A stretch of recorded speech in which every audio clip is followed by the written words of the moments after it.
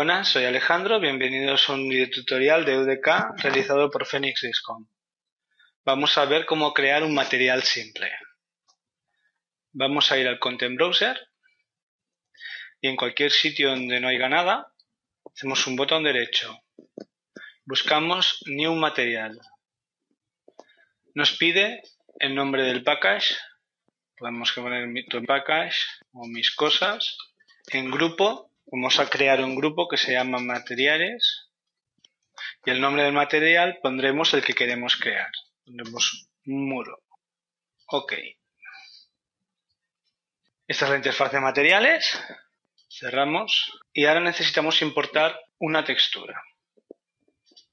Damos a importar. Me voy a imágenes, que es donde la tengo.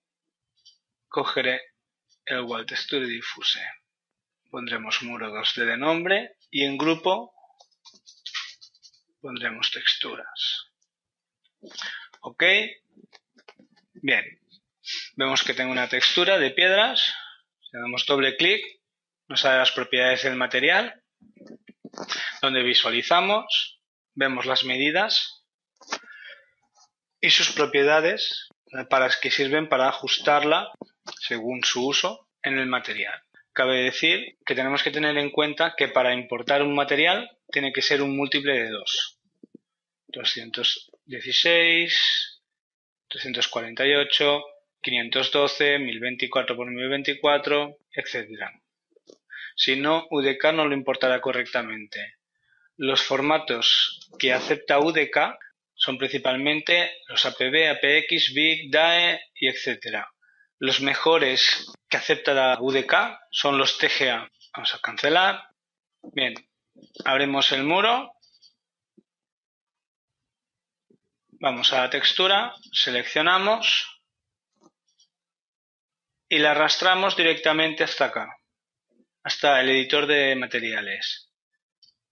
También podemos hacer un botón derecho, texture, texture sample.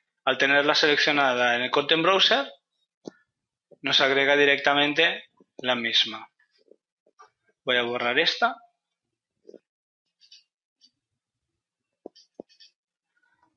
Para crear un material simple, debemos conectar la textura sample al diffuse. Diffuse lo que hace es mostrar el color sin sombras, ni grabados, ni nada. Simplemente muestra la imagen implantada. Como podéis ver, da muy poco realismo. Para ello necesitamos agregar un normal. Normal lo que hace es coger un mapa UV o los canales RGB para generar una profundidad en esta material, el cual le da un efecto un poco más realista, un poco 3D.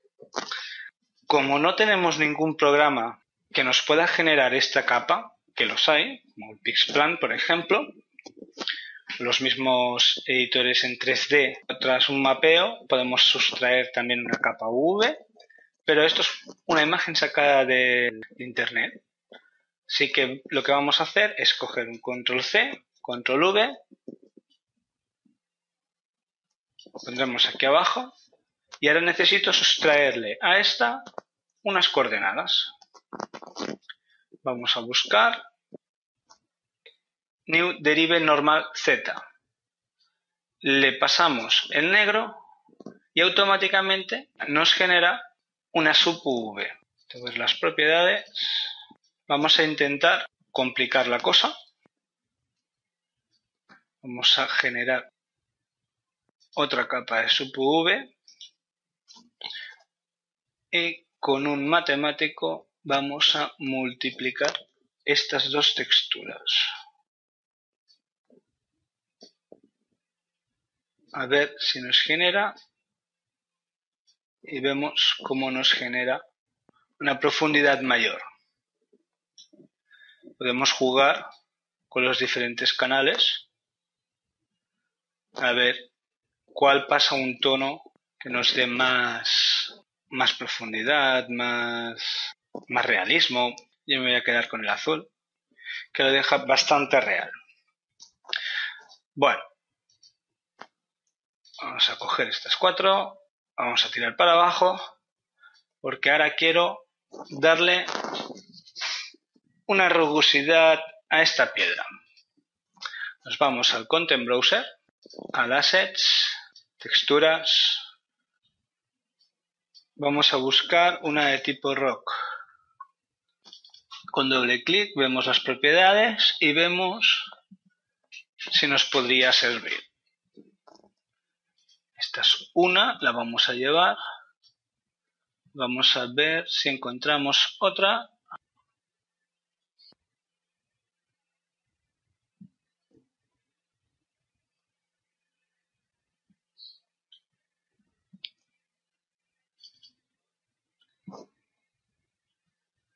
Perfecto. Esta tiene el otro canal que busco. Cogeremos estas dos con el multiply, control C, control V, fusionamos la A y la B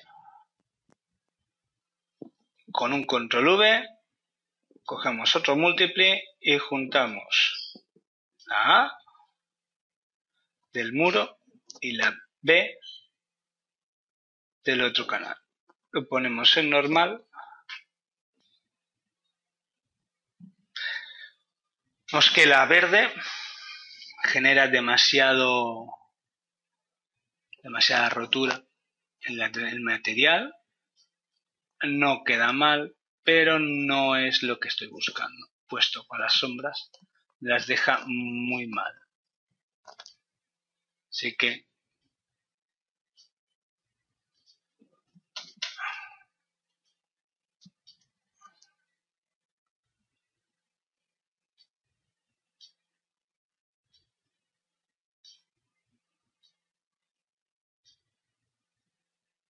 juntando la A y la B, que son la misma, me genera un poco más de profundidad.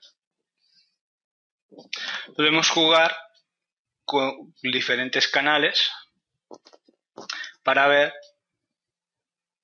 de pasarle diferentes tonalidades o aumentarle un poco el efecto. Podemos usar multiplicadores como antes y aquí al final vemos la textura de V cómo quedaría. Bueno, ahora vamos, vamos a pasarle en las coordenadas de textura.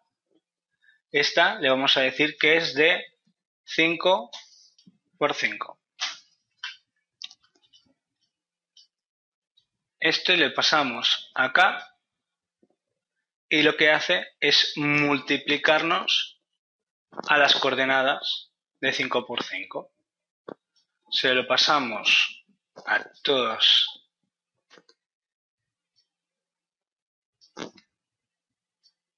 para que se ajusten y tenemos un material. A este material le falta un especular, que el especular pasaremos el canal en rojo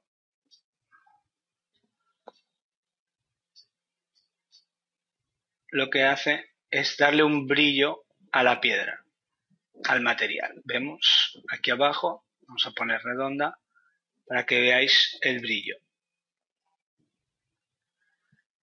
Pasáramos el blanco, el brillo se aumenta considerablemente. Vemos como el material tiene un brillo mucho más elevado. Lo mejor es en vez de usar uno de los canales rojo, verde y azul, es coger una textura como la sample, pero de momento lo vamos a dejar así. Vamos a coger el material y vamos a importarlo. Bien, tenemos el material puesto, vemos cómo refleja bastante cantidad y el material se ha aplicado a la pared. Incluso así, actúa así porque es no una pared normal, es un mesh si cogiéramos el editor y agregamos uno. F5, ponemos que es un tipo plano y vamos a escalarla un poco. Vemos cómo en los actores simples podemos ajustarle las texturas. Al ser un mesh se, se coloca según ha sido creado el mesh. Mientras que los actores podemos modificar sus propiedades. Aplicamos. Bien. Y aquí podemos ver cómo el material queda mucho más realista y ajustado a lo que necesitamos. Mediante, recordemos que mediante el textura y coordenadas podemos ir ajustando los valores del material.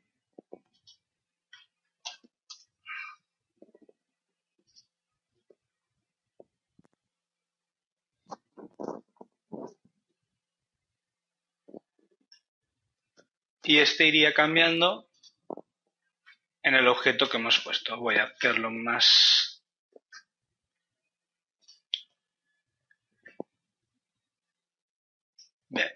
Vemos cómo se van aplicando los cambios y con este podemos ajustar perfectamente las medidas al objeto que estamos usando.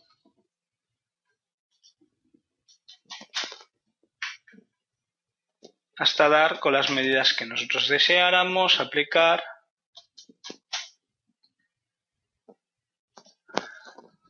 hasta encajarlo y texturizarlo perfectamente en nuestro nivel. espero que os haya gustado, que os sirva. Antes de nada, especificar que esto es un material estándar simple el material del landscape se diferencia.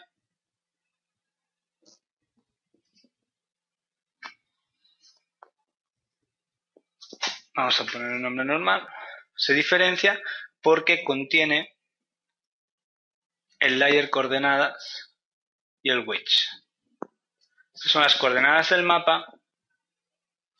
En el layer width este son las capas que va a tener nuestro material. Significa que si vamos a tener en nuestro mapa, en nuestro landscape, una textura de tierra, una textura de piedra, una textura de hierbas, una textura de arenisca. Cada uno, cada layer es una capa, la cual le programamos con un nombre y vamos linkando los materiales directamente todo al diffuse. Y cada capa va conectada al layer. Un layer va a otro layer. O sea, este layer iría a este. Y así consecutivamente hasta que el primero llega a su correspondiente diffuse. Eso es un material para el landscape. El cual, cuando le pasamos el material acá, después de crear el landscape, al crearlo podemos ponerle unas texturas. Esas texturas son las creadas por allá y las capas son las creadas en el material, que veremos más adelante. Muchas gracias, hasta el próximo video tutorial.